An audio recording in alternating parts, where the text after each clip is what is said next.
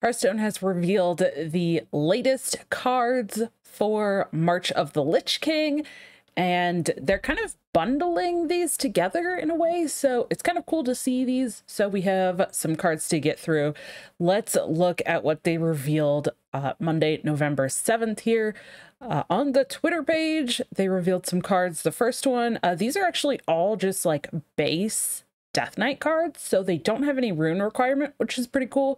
We knew that that was coming, but we finally get to see some. The first one, Body Bagger, a one mana, one three undead with a battle cry, gain a corpse.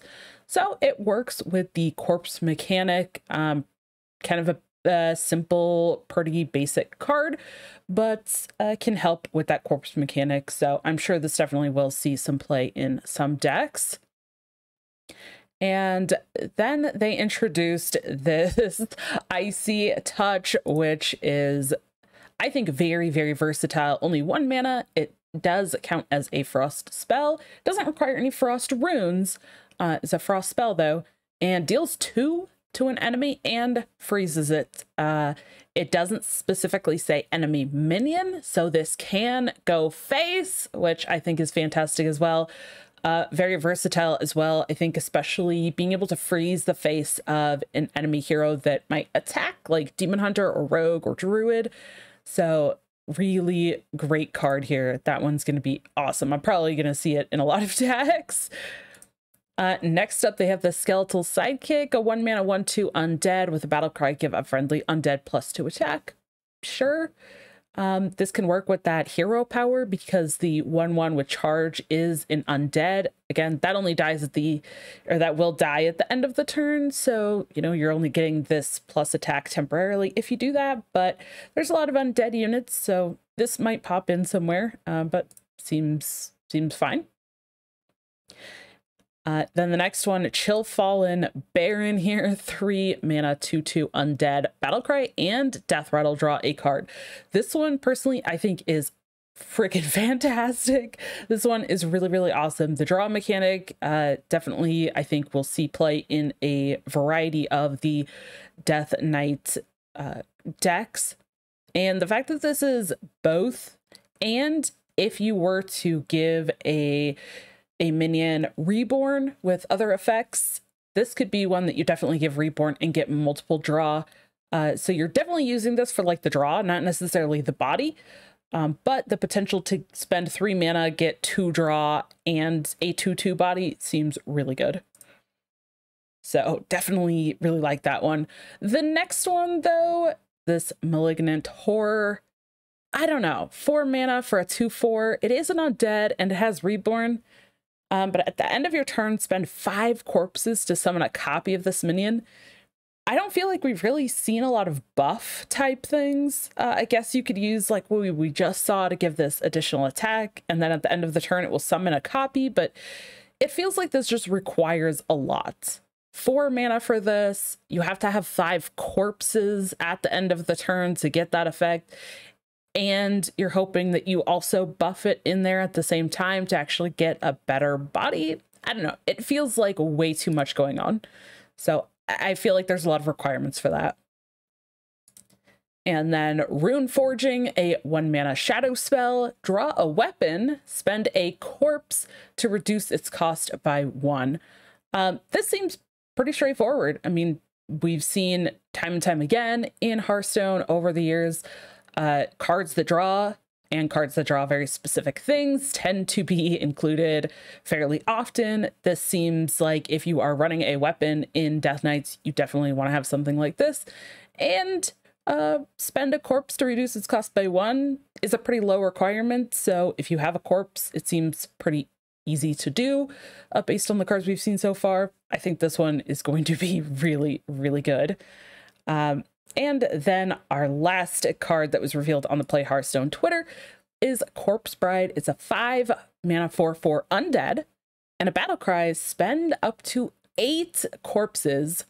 Then you get to summon a risen groom with stats equal to the amount spent. Uh, so this one is going to vary on the size of the body that you get. You play this, uh, the battle cry goes off. If you only have four corpses, you're going to get an additional 4 4 body along with this one okay, yeah, I mean, that seems honestly pretty decent. And I don't think it's going to go in like every deck. You probably just want to put this in with stuff that, like, you know, you're really going to be leaning into that corpse mechanic.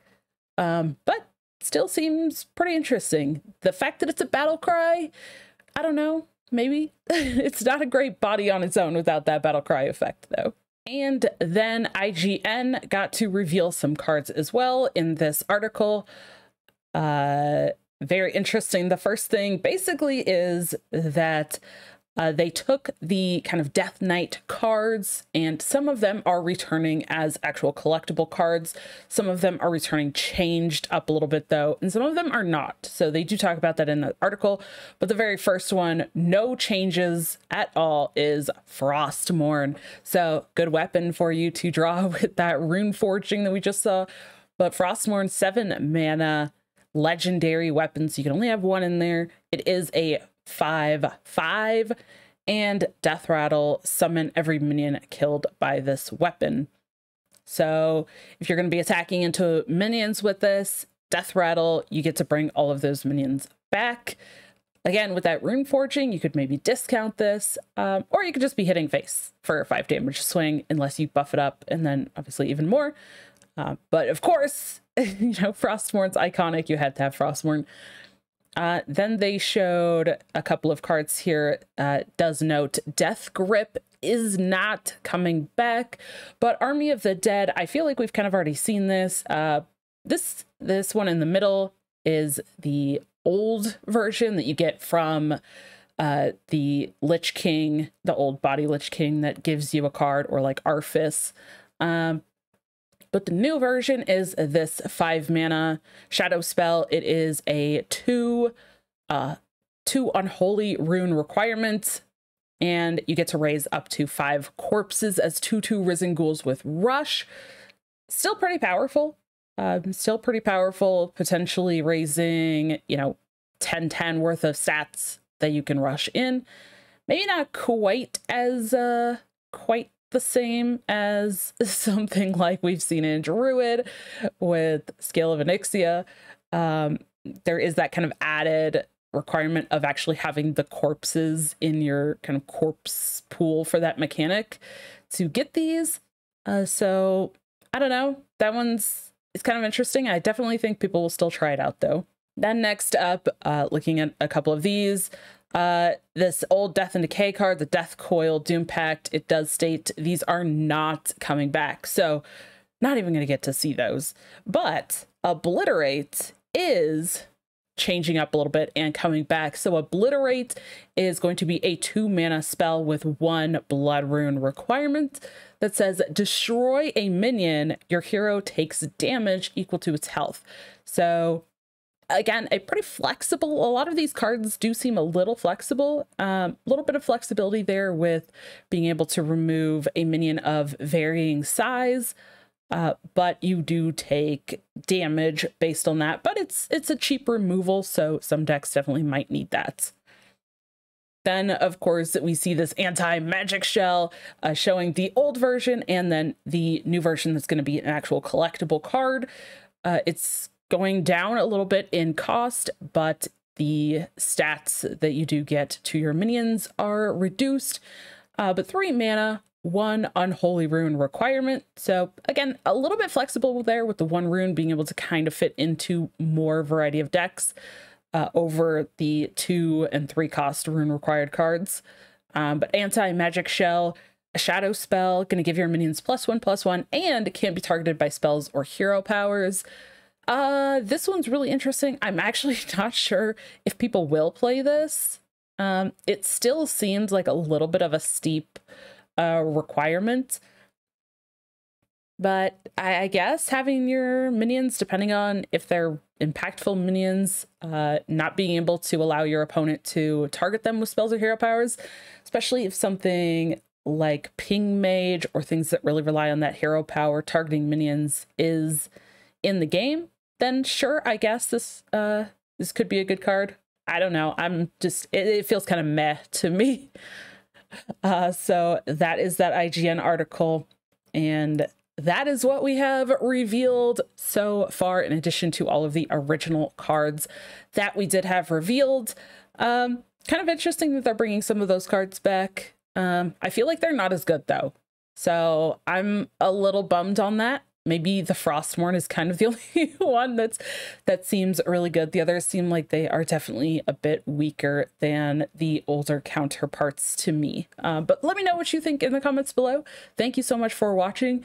And if you're interested in that rune mechanic, check out my video that I did on creating an entire rune system for all of the other 10 classes.